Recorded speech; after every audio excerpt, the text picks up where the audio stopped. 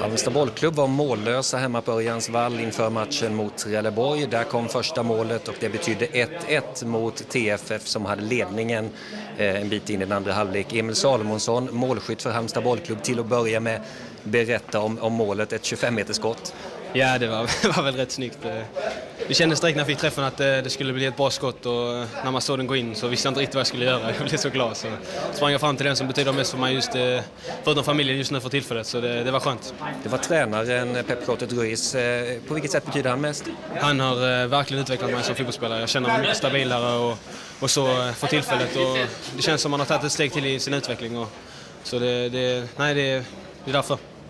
Om man tittar på matchen så skapade ju Halmstad fantastiskt många möjligheter. Ni hade fem eller sex frilägen i princip. Ändå var det Trelleborg som hade ledningen eh, en bra bit in i andra halvlek. Hur tänker du kring det?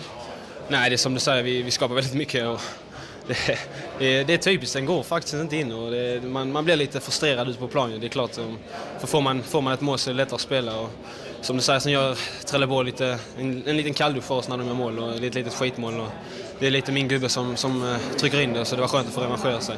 Men uh, ja, om vi skapar så här mycket hela tiden så kan det inte till slut så kommer bollarna trilla in och eh, det, det, är bara så vi kan tänka. Vi kan inte, vi kan inte borra ner oss och sätta, sätta gråta där hemma nu för, för det, det vinner man inga matcher på, det gör man inga mål. Så det, det är bara att ta med, ta med oss det vi har bra när vi skapar chansen och sen förhoppningsvis trycka dit dem nästa gång.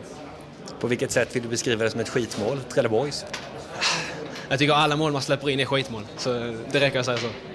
Men eh, nu har ni spelat fem omgångar och fortfarande väntar ni och fansen på första segern. Eh, hur pass jobbigt är det eh, att det inte blev tre poäng här nu då?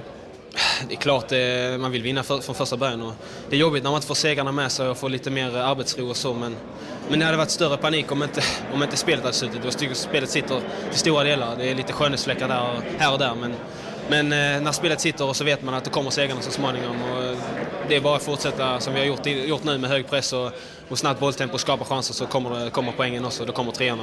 För det, det är bättre att vinna sista 20 än att vinna två nu och så förlora sista 20. Emil Salomonsson där med ett kanonskott gav han Halmstad ett poäng och första målet på hemmaplan mot Trelleborg 1-1 slutar matchen.